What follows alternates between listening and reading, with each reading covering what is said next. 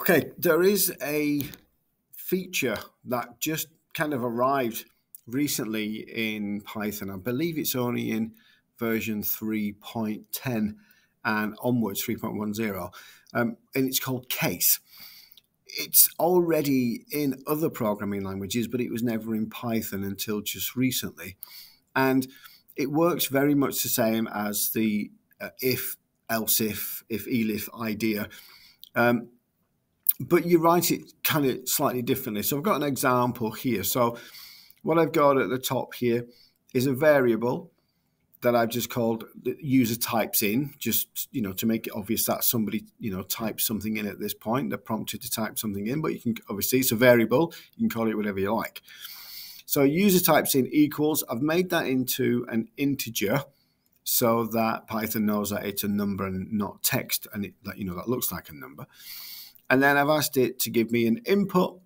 So it will display on the screen, enter a number between one and five. This forward slash n just means a new line, so a new line break. And this is how you build the case.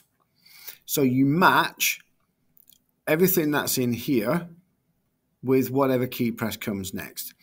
So match user types in case one then we print this is option one. In case two, we print this is option two. Now, as examples go, printing number two and number three, you know, it's, it's not very useful, but just as an example, so you can see how this works. If you wanted to build a menu, or if you were given some code that you uh, had to kind of interpret and it had case, a match case um, scenarios, then you'd be able to immediately recognize that this is a menu. And when you press one, this is going to happen. And when you press three, this is going to happen, and so on.